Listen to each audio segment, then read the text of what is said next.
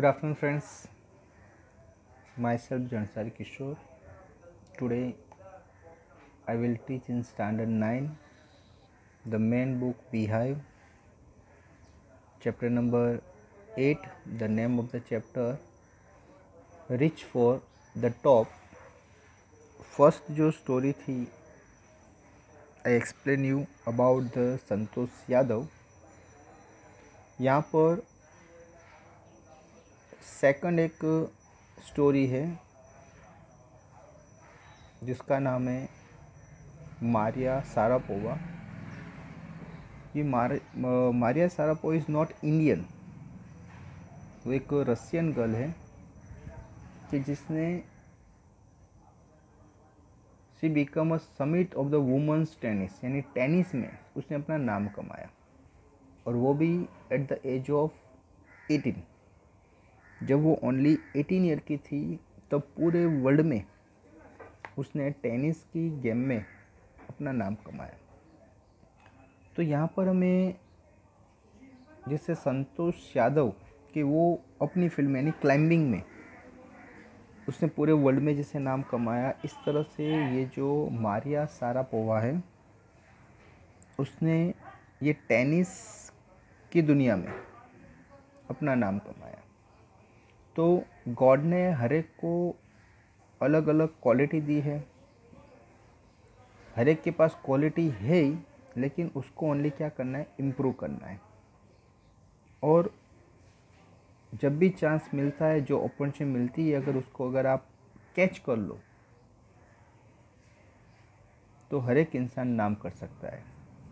जैसे यहाँ पर ये जो मारिया सारापोवा है, उसने अपने, अपना नाम टेनिस गेम में, पूरे वर्ल्ड में किया और उस टाइम पर उसकी एज ओनली एटीन ईयर थी, यानी कम एज में यंगेस्ट गर्ल जैसे अपने यहाँ पर संतोष यादव थी, इसे become a youngest woman in the world to climb the Mount Everest the same thing ये यंगेस्ट गर्ल थी कि जो ओनली एटीन ईयर की थी, कि उसने टेनिस गेम में पूरे वर्ल्ड में अपना नाम किया। तो नामना ऐसे नहीं होती है उसके लिए बहुत सारा सेक्रीफाइस करना पड़ता है। बहुत ज़्यादा कंसंट्रेशन करना पड़ता है हार्डवर्क करना पड़ता है। तो यहाँ पर ये जो मारिया सारा पोहा है, उसको लाइफ में किस तरह से प्रॉब्लम्स हुए? वो अपने फैमिली के साथ रहती थी। उसका जन्म साइबेरिया में हुआ था। उसके बाद उसके जो फादर हैं, वो दूसरे कंट्री में गए। उसको वहाँ पर बुलाया गया। वहाँ पर वो अकेली रहती थी। बहुत सारा प्रॉब्लम्स था, लेकिन फिर भी वो प्रॉब्लम्स के बीच में उसने ये जो गेम थी टेनिस उसके साथ वो जुड़ी रही। उसके साथ जो उसके सीनियर्स थे, उसको बहुत ही जैसे टॉर्चर कर रहे थे। लेकिन फिर भी उसने वहाँ से भागना मुनासिब नहीं समझा और ये जो प्रॉब्लम्स है उसको वो फेस करती रही। और बहुत ज़्यादा टाइम वो स्पेंड करना चाहती थी टेनिस के साथ। धीरे धीरे उसके अंदर जो स्किल थी वो डेवलप डेवलप होने लगी। उसके जो सीनियर्स से उसको जो टॉर्चर कर रहे थे, उनको भी पता चला कि नहीं, उसमें एक बाकी सब जो इंसान के पास स्किल होती है, लेकिन उसके पास रियली बहुत ही अच्छी स्किल है। बहुत जगह उसको इंसल्ट फीलिंग हुई, वो भी उसने सहन किया। लेकिन उसका एक टारगेट था कि भी मुझे नाम करना है, ओके? और उसने वो करके दिखाया, ओके? पूरे वर्ल्ड में उसने अपना नाम कर दिया। तो और उसको फ़क्र था कि वो एक रशियन गर्ल है। ओके वो रशियन गर्ल थी, वो यूएस में रहती थी। वो सोचती कि मैं कभी भी खेलूँगी तो मैं रसिया के नाम से ही खेलूँगी। ओके ओलंपिक जो होती है, वो अलग अलग कंट्री के लोग जहाँ पर खेलने आते हैं तो जब भी वो ओलंपिक गेम हुई, तब वो रशियन कंट्री के सिटीजनशिप के नाम से ही उसने अपना नाम एनरोल कराया। तो इस तरह से उसको अपने देश के बारे में भी उसने सोचा। तो यहाँ पर बहुत सारे प्रॉब्लम फेस करने के बाद जिस तरह से उसको ये अचीवमेंट हासिल हुआ, जिसे आगे हम कंपेयर करें संतोष यादव को, कि संतोष यादव को भी यही प्रॉब्लम था कि उसकी उसका जन्म ऐसे फैमिली में हुआ था कि जहाँ पर गर्ल्स को पढ़ाया ही नहीं जाता था और अर्ली एज में उसकी शादी कर दी जाती थी। यानी जहाँ पर ओनली जो बॉयज़ है उनका ही नाम था, यानी उनको ही सब फैसिलिटी मिलती थी। गर्ल्स को वहाँ उसकी कोई वैल्यू ही नहीं थी। फिर भी उसने पूरे वर्ल्ड में अपना नाम किया। तो इसी तरह से अगर इंसान एक बार मन में सोच ले तो कुछ भी कर सकता है। Okay friends so now let's start the second part of the chapter number eight जिसका नाम है रिच फॉर द टॉप तो फ़र्स्ट पार्ट हमने पढ़ा, वो संतोष यादव के बारे में पढ़ा, ये जो सेकंड है, वो मारिया सारापोवा के बारे में है। और रशियन गर्ल ये जो मारिया सारापोवा थी, वो रशियन गर्ल थी। Maria Sharapova reach the summit of the women's tennis उसने जो वुमेंस टेनिस है, उसमें उसने अपना नाम किया, वो एकदम टॉप पर पहुँची। When she was barely eighteen जब वो ओनली एटीन ईयर की थी, यानी अट्ठारह साल की थी as you read about her अगर आप उसके बारे में रीड करोगे see if you can draw a comparison between her and Santosh Yadav तो आप कंपेरिजन कर सकते हो उन दोनों के बीच में, यानी मारिया सारापो और संतोष यादव, जो हमने पार्ट वन में संतोष यादव के बारे में पढ़ा, वो इंडियन थी, ये रसियन गर्ल है। लेकिन दोनों ने छोटी एज में जो अपना नाम किया तो वो नाम ऐसे नहीं होता है, उसके लिए बहुत ज़्यादा स्ट्रगल करना पड़ता है, बहुत सारी चीज़ें को नज़र नज़रअंदाज करना पड़ता है, तब जाके ये होता है। तो let's start the lesson point first से।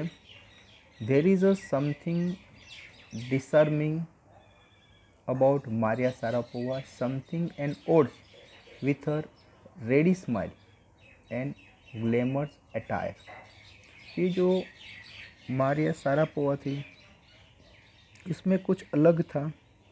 वो ऑलवेज कुछ भी हो glamorous attire okay glamorous attire यानी अच्छे कपड़े, कि जिसकी वजह से लोग उसको देखकर खुश हुए ओके तो वो ऑलवेज इसको, ये जो उसके कपड़े देखकर हमें उसको अच्छे लगते हैं। वो ऑलवेज उसका चेहरा स्माइलिंग रहता था। And that something in a lifted her on Monday twenty second August two thousand five to the world's number one position in women's tennis यहाँ पर हमें जो पिक्चर दिया है, कि जिसमें दिया है कि भाई ये जो है 2004 में, जो विम्बलेडन था, उसमें, उसने जो वुमेंस सिंगल्स में जो नामना हासिल की, उसको जो मेडल मिला, उसका अटायर देखो, उसके चेहरे पर स्माइल देखो, जो चेहरा ऑलवेज आपको माइंड में रहे, ऐसा चेहरा है। तो ये जो है Monday twenty second August two thousand five को जो वर्ल्ड में उसने वुमेन टेनिस में नंबर वन पोजीशन क्या कर दी? हासिल कर दी। उस टाइम का है। All this happen in almost no time ये सब चीज़ कैसे हुआ? बहुत ही कम टाइम में। नो टाइम यानी कहना का मीनिंग है बहुत ही कम टाइम में। पोइज्ड बियॉन्ड हर ईयर्स अपने पुराने साल की अगर वो बात करें तो द साइबेरियन बॉर्न टीनेजर उसका जन्म साइबेरिया में हुआ था। ओके okay, तो उसका जन्म साइबेरियन हुआ था साइबेरियन में हुआ था। Took just four years as a professional to reach the pinnacle वो सीखने के लिए ओके तो चार साल तक उसने एक professional to reach the pinnacle pinnacle जगह का नाम है, वहाँ पर जैसे वो सीखने के लिए गई थी। यहाँ पर फ़र्स्ट पॉइंट कंप्लीट होता है, जिसमें बताया है कि उसका जो पोज है, जिसमें देखने को मिलता है कि उसके ग्लेमियर्स अटायर है और चेहरे पर स्माइल है। And she is the number one position in women's tennis उस टाइम पर जो किताब मिला था, उसका ही पिक्चर है।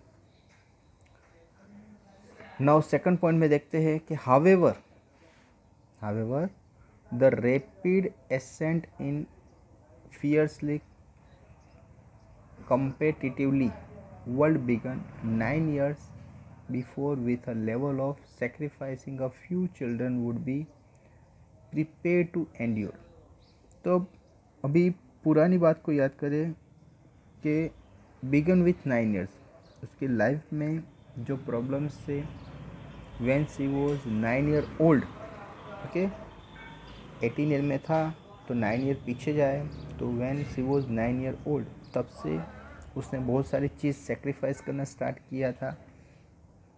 Before with the level of sacrifice few children would be prepare to endure तो बहुत से लोगों को छोटी एज में बहुत सारी चीज़ें सहन करनी पड़ती है तो इसी तरह से ये जो मारिया सारा पवा है when she was nine year old तब उसने बहुत सारी चीज़ें उसने खुद सहन की थी। Little Maria had no yet celebrated her tenth birthday ये जो लिटल मारिया है, उसने अपना टेंथ बर्थडे भी सेलिब्रेट नहीं किया था।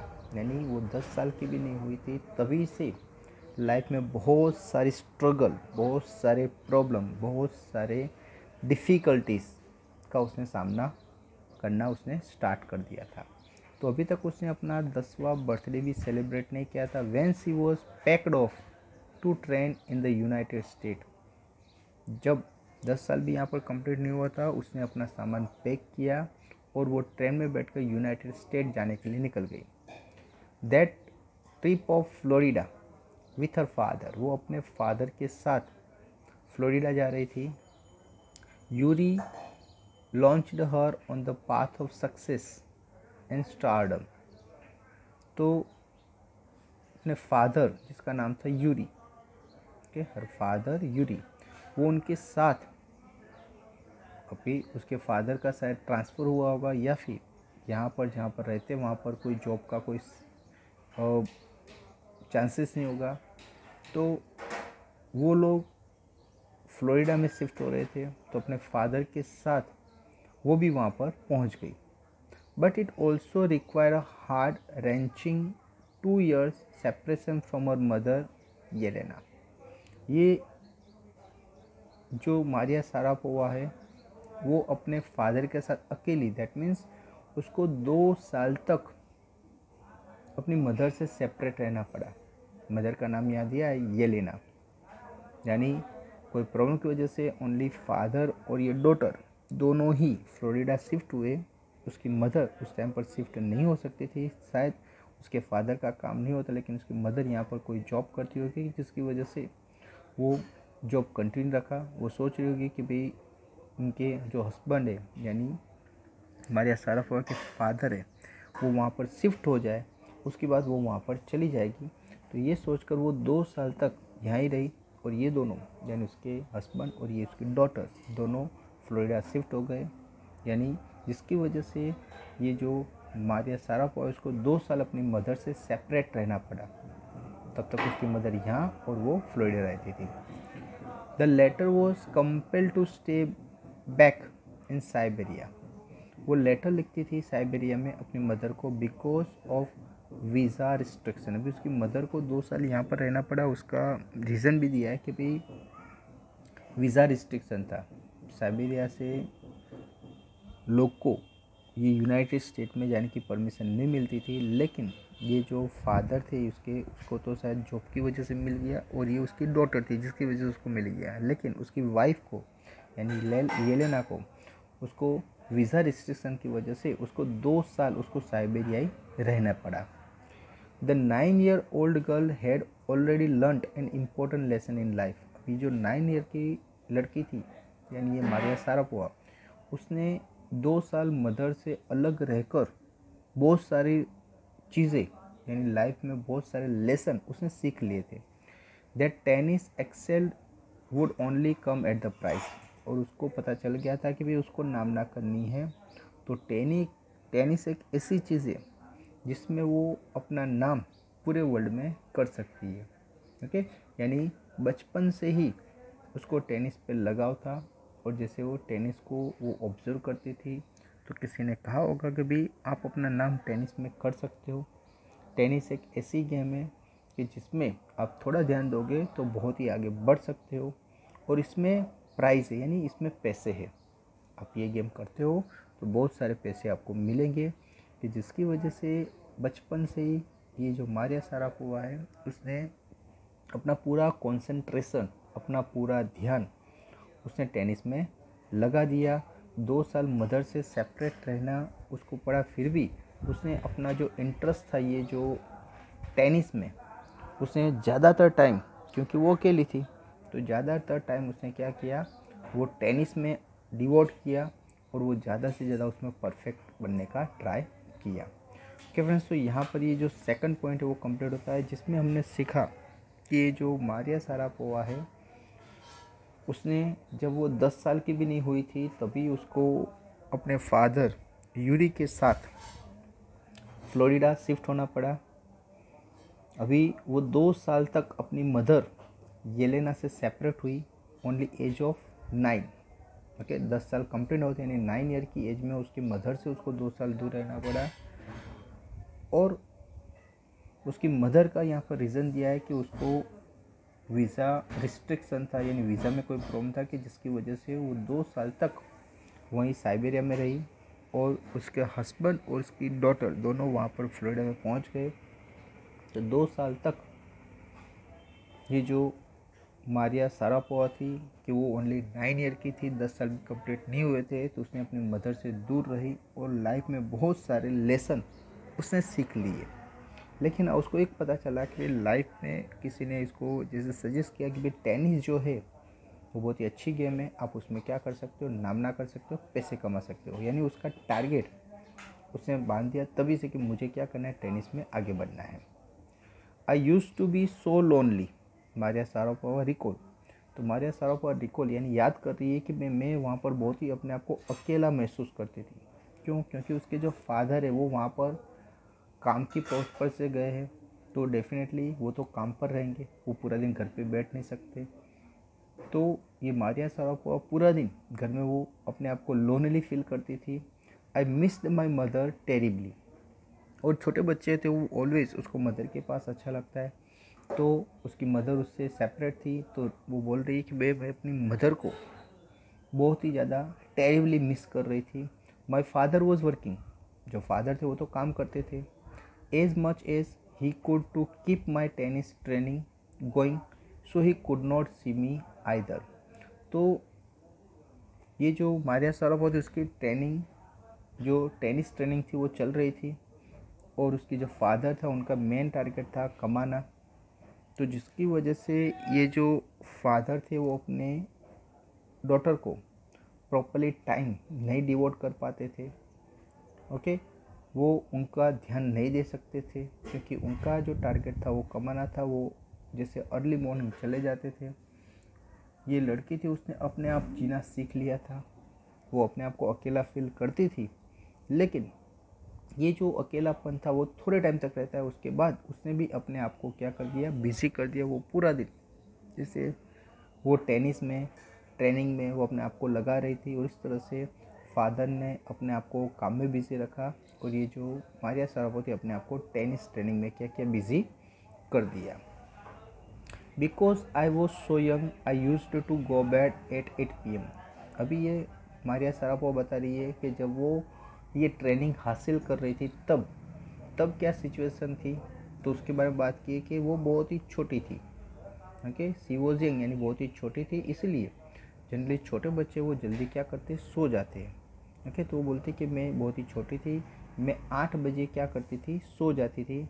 The other tennis pupils would come in at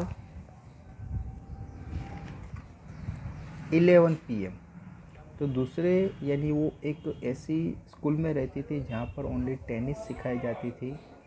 तो वो छोटी थी सबसे, जिसकी वजह से वो आठ बजे सो जाती थी। लेकिन दूसरे जो स्टूडेंट थे, वो ग्यारह बजे तक वो क्या करते रहते प्रैक्टिस करते थे और ग्यारह बजे वो वापस आते। अभी इन ये सब लोग एक ही रूम में रहते थे। तो ये जो दूसरे लोग थे, ये जब ग्यारह बजे वापस आते एंड वेक मी अप और ये मारिया सारापोवा को वहाँ से उठाते थे and order me to tidy up the room and clean it तो वो उसको उठा कर ही कहते थे कि ये रूम को क्या करो आप? अच्छी तरह से क्लीन कर दो। यानी इस तरह से यहाँ कहा गया है कि भाई ये लोग उनको जैसे टॉर्चर कर रहे थे।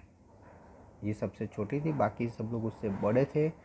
ये ये आठ बजे आकर सो जाती थी और वो उसको नींद में से जब ये लोग ग्यारह बजे आते तब ये लोग उसको उठाते और उठा के पूरा रूम क्या करवाते? जो चीज़ जैसे तैसे फेंकी, उसको अच्छी तरह से रखवाते और पूरा रूम क्या करते थे? क्लीन करवाते। तो इस तरह से उस पर जैसे टॉर्चर किया जाता था। लेकिन फिर भी उसने ये सब चीज़ भी क्या की? सहन की। क्यों? क्योंकि उसको एक मन में टारगेट था कि उसको टेनिस क्या करना है? सीखना है। ओके फ्रेंड्स तो यहाँ पर ये आपका जो फोर्थ पॉइंट है, वो भी कंप्लीट होता है, जिसमें हमने पढ़ा कि मारिया सरापुआ वो सबसे यंगेस्ट थी। सबसे छोटी थी, इसलिए वो डेली आठ बजे को क्या करती थी, सो जाती थी। लेकिन दूसरे जो ये टेनिस प्यूपिल्स थे, वो लोग ग्यारह बजे तक प्रैक्टिस करते रहते और ग्यारह बजे वो जब प्रैक्टिस करने के बाद वापस आते, तब तक तो ये जो मारिया सारा सो जाती थी। तो जब वापस आते ग्यारह बजे, वो लोग इसको उठाते, पूरे रूम को अच्छी तरह से पहले अरेंज कराते उसको बाद क्लीनिंग कराते। और ये जो छोटे लड़के थे, वो कुछ बोल नहीं पाती थी, उनका सामना नहीं कर पाती थी, कि जिसकी वजह से उसको वो जो भी ऑर्डर देवे उसको क्या करना पड़ता था? फॉलोअप करना पड़ता था। तो इस तरह से उस पर जो टॉर्चरिंग होती थी, वो टॉर्चरिंग भी उसको क्या करनी पड़ती थी? सहन करनी पड़ती थी।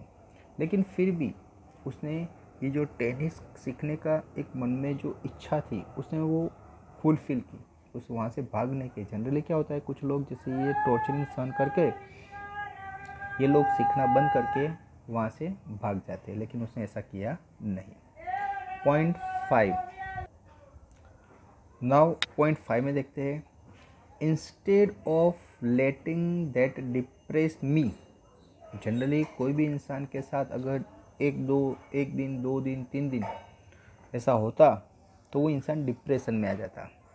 डिप्रेशन में आने की वजह से क्या होता है कि उसको जो चीज़ वो सीख रहा है, जैसे ये टेनिस सीख रही तो टेनिस में से इंटरेस्ट चला जाता। वो वहाँ से भाग जाने का ख्याल करते और बहुत से लोग चले भी जाते उनकी जो लाइफ है, वो पूरी क्या होती है स्पॉइल हो जाती है बिगड़ जाती है। लेकिन यहाँ पर कुछ अलग हुआ। इतना टॉर्चर होने के बावजूद ये जो मारिया सारा पोआ थी, उसने, वो डिप्रेस नहीं हुई। उसने वहाँ से भागने का सोचा नहीं। Instead of letting the depress me ये चीज़ जो हो रही थी उस, वो चीज़ ने उसको डिप्रेस नहीं किया। I become more quietly determined and mentally tough वो धीरे धीरे बहुत ही ज़्यादा डिटरमाइंड उसने मन में एक निश्चय कर लिया कि मुझे तो अभी यही करना है और वो मेंटली टफ हो गई कि भाई ये सब प्रॉब्लम से मुझे ये प्रॉब्लम का क्या करना है फेस करना है। लाइफ में वो जो सीख रही थी उसने जो एक अपना मकसद बना दिया था कि मकसद में पहुँचने के टाइम पर जो रास्ते में प्रॉब्लम्स आते रहते हैं तो that is also one type of problem तो मुझे उसको क्या करना है? फेस करना है। उससे भागना नहीं है। इस तरह से उसने डिटरमाइन कर दिया और वो हर एक जो प्रॉब्लम उसके सामने आते थे, उसको फेस करती थी। Okay okay? उसने मेंटली अपने आप को टफ कर दिया। I learn how to take care of myself उसने सीख लिया था कि खुद की केयर किस तरह से रखी जाती है। उसका कोई केयर रखने वाला नहीं था, वो खुद की केयर खुद रखती थी। I never thought of quitting मैंने कभी भी वहाँ से भागने का नहीं सोचा। क्वाइट होने का नहीं सोचा। ओके जनरल इंसान क्या होता है कि भाई ये डेली का ये प्रॉब्लम की वजह से कुछ लोग क्या करते हैं भाग जाते हैं। लेकिन उसने कभी भी उसके मन में ये ख्याल नहीं आया कि मैं यहाँ से चली जाऊँ। Because I knew what I wanted क्योंकि उसको पता था कि मुझे क्या हासिल करना है। उसने वो डिसाइड कर दिया था और वो चीज़ उसको यहाँ ही मिलेगी। ये उसके लिए एक ओपन प्लेस था। अगर वो वहाँ से भाग गई तो वो चीज़ उसको फिर कभी भी हासिल होगी नहीं। ये उसको पता था, इसीलिए लाइफ में बहुत सारे प्रॉब्लम आने के बावजूद वो वहाँ पर टिकी रही। वो वहाँ से भागने का कभी उसने सोचा नहीं। When you came from nothing and you have nothing then it make you very hungry and determined जब आपके पास कुछ नहीं है ओके okay? यानी आपके पास आपके पास हंगरनेस है आप कुछ लेना चाहते हो, कुछ पाना चाहते हो, और दूसरा आपके पास डिटरमाइन है। आपने डिटरमाइन कर दिया कि मुझे ये हासिल करना ही है एनी हाउ तो ऐसे सिचुएशन में इंसान कुछ भी हो जाए, लेकिन वो कभी डरता नहीं है। वो ऑलवेज वो अचीव करने के लिए वो आगे बढ़ता है। प्रॉब्लम्स तो लाइफ में आती और जाती है। प्रॉब्लम से डर कर जो भाग जाता है, वो कभी लाइफ में आगे बढ़ता नहीं है। तो ये जो एक सीख है, वो हमें ये मारिया सारापो से सीखनी है कि लाइफ में कुछ भी अचीव करना है तो बहुत सारे प्रॉब्लम्स आते हैं। हमें वो प्रॉब्लम को फेस करना है प्रॉब्लम को हमें हटाना है। हमें उससे भागना नहीं है। अगर आपने एक बार वहाँ से भाग गए तो जो चीज़ आप हासिल करना चाहते हो तो कभी भी हासिल कर पाओगे नहीं। ओके? तो इसी तरह से मारिया सारापन बहुत सारी चीज़ें जो उसके फेवर में नहीं थी, जो उसको प्रॉब्लम क्रिएट करती थी, फिर भी उसने वो चीज़ को क्या किया? फेस किया। वो उससे भागी नहीं। I would have put up with much more humiliation and insult than that to steady fastly pursue my dream तो उसका एक जो ड्रीम था, उसको फुलफ़िल करने के लिए उसने बहुत ही ज़्यादा ह्यूमिलेशन एंड इंसल्ट यानी अपमान सहन किए। उसका एक जो ख्वाब था, वो ख्वाब को फुलफ़िल करने के लिए उसने बहुत सारी जगह उसका अपमान हुआ, लेकिन वो हर एक अपमान को सहन करती गई। वो अपमान से भागने का उसने सोचा नहीं। जो भी प्रॉब्लम आती थी उसको फेस करती थी और उसने मन में डिटरमाइन कर दिया था कि भाई यही एक जगह है, यही एक फ़ील्ड है, जहाँ पर वो अपना नाम कर सकती है, जहाँ पर वो पैसे कमा सकती है। तो उसको अचीव करने में ये सब उसके प्रॉब्लम्स है, ये सब ऑब्स्टिकल्स है। ये ऑब्स्टेकल को मुझे क्या करना है? क्रॉस करना है। वही मन में डिसाइड करके वो आगे बढ़ रही थी कि जिसकी वजह से वो धीरे धीरे वो हर एक ऑब्स्टिकल को क्रॉस करते करते अपनी मंजिल की ओर, अपने टारगेट की ओर वो आगे बढ़ रही थी। तो बहुत सारे टाइम उसको अपमानित होना पड़ा इंसल्ट उससे फीलिंग हुई, जैसे उसके जो रूममेट थे उसको 11 बजे उठाकर पूरा रूम क्लीन करवाते थे। ये सब जो प्रॉब्लम्स थी, उसने किसी को भी नहीं कही और वो खुद ने वो सहन करते रहे, वो अपने आप को वो ज़्यादा से ज़्यादा मेंटली और फिज़िकली वो टफ बनाती गई। क्योंकि अगर ये चीज़ अगर उसको इसने फादर को बताया तो फादर क्या करेंगे? उसको वहाँ से निकल कर कोई दूसरी जगह सोचेंगे। तो उससे उसका जो स्टडी है, उसमें कुछ ना कुछ इफ़ेक्ट होगी। मम्मी को बताएगी तो भी मम्मी इस तरह से कहेगी। यानी अगर ये प्रॉब्लम वो किसी और को बताते हैं तो उससे उसको लग रहा था कि मुझे ही प्रॉब्लम होने वाला है। कि जिसकी वजह से ये जो प्रॉब्लम है, उसने किसी को नहीं बताते हुए उसने ये सब प्रॉब्लम खुद ही क्या किए बियर किए, सहन किए और ये सहन करने के बाद वो अपने आप को ज़्यादा से ज़्यादा स्ट्रॉन्ग बनाकर वो धीरे धीरे आगे बढ़ते गए। और फ्रेंड्स तो यहाँ पर हमने ये सीखा कि भाई ये मारिया सारा पोआ थी, उसके लाइफ में बहुत सारे जो प्रॉब्लम आए, लेकिन फिर भी उसने अपना एक टारगेट बना दिया था कि भाई मुझे ये टेनिस फ़ील्ड में आगे बढ़ना है और वो नंबर वन पर पहुँच गई। तो लाइफ में कोई भी चीज़ इम्पॉसिबल नहीं है। अगर आपने मन में एक बार डिसाइड कर दिया और उसके लिए अगर आप हार्डवर्क करते रहोगे तो आप डेफिनेटली सक्सेस बनोगे। Okay friends so I hope कि आपको यहाँ तक ये जो मैंने फाइव पॉइंट कंप्लीट किया है आपको पता चल गया होगा। सो so, ये वीडियो के बाद आपको एक पीडीएफ फ़ाइल दी जाएगी जिसमें आपका होमवर्क रहेगा। वो होमवर्क आपको कंपलसरी करना है। Okay friends so thank you very much to listen me carefully